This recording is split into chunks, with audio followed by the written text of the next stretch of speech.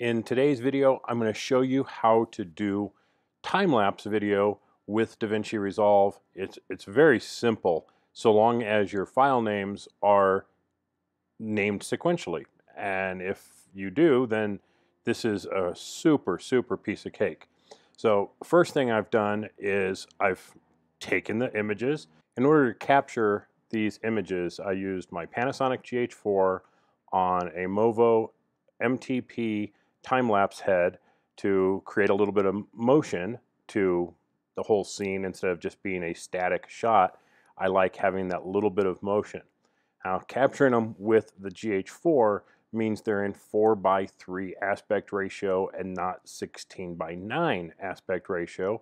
Plus, I prefer to shoot in RAW and then do my time lapses as JPEGs so that I can make sure that the images are processed the way I want, all the highlights and shadows and colors and all that are where I want. So here I'm going to import these images into Adobe Lightroom and then I can do some processing on them.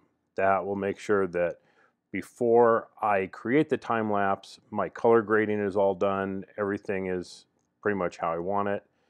So that's importing the images now, all done there.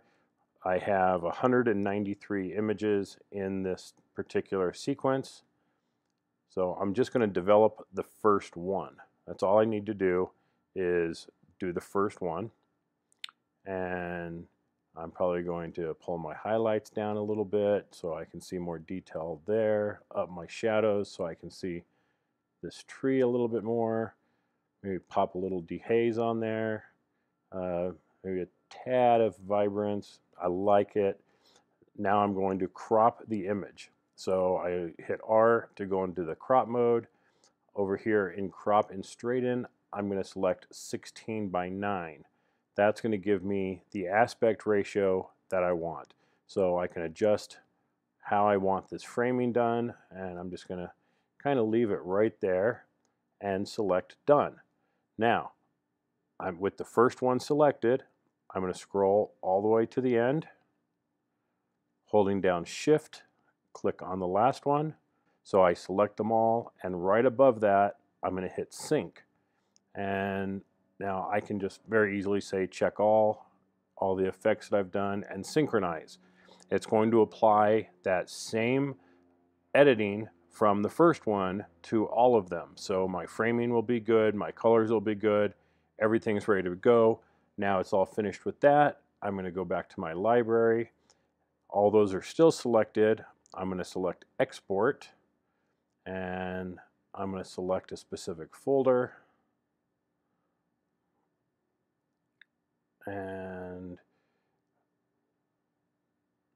make sure that I give them a name like time lapse with a sequence so that they're all in the right order. Quality is going to be at 100% resize to fit my long edge to 1920 since I'm going to be creating this in HD which is 1080p which is 1920 by 1280 my long edge is going to be 1920 which because it's 16 by 9 will make the short edge 1280 so that's all we really need to do. So I'm going to select export. It's going to ask me where do I want these to go. I'm going to select my projects folder and off it goes to export 193 images. Now once this is done, I can go into DaVinci Resolve and you'll see just how easy it is to turn this into a time lapse. So I'll go ahead and speed this up while we wait for these files to export.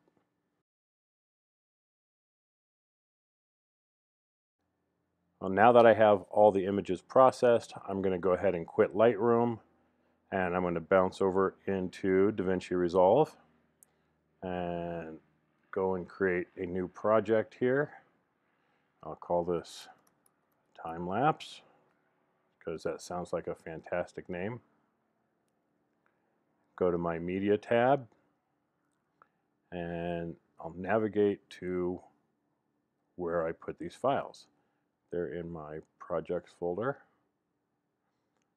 Well, now look, instead of a bunch of files, it's just one file.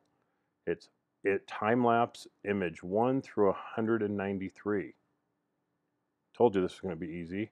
Drop that into my media tab, go to my edit page, drop that onto my timeline, and we've created a time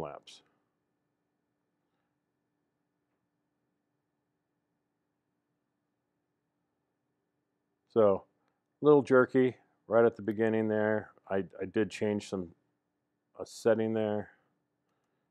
So I want to find where that shifted. I'm going to crop that in, pull that over. This playback does seem really jerky, right? Well, part of that has to do with my machine. I'm running this on a MacBook Pro, not a big high-end machine. But I'm going to select this clip, go to Clip, render the Fusion output, turn that on, render the cache color output, and under playback, render cache is going to be user.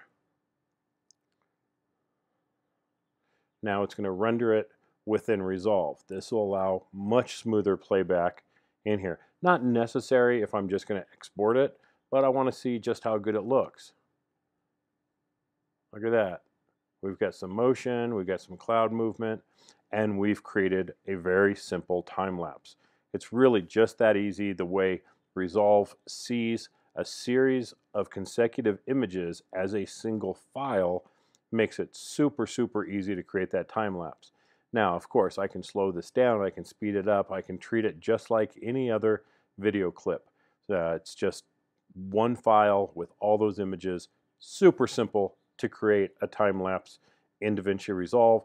This works from, uh, as far as I know, 12.5, version 14, version 15. So it all works exactly the same. So if you learn it here, it's going to be the same on all of them.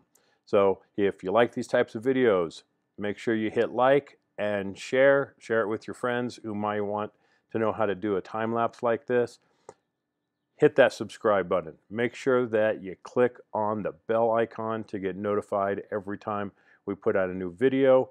This has been Kerry. Thanks for watching. We will catch you next time. Bye-bye.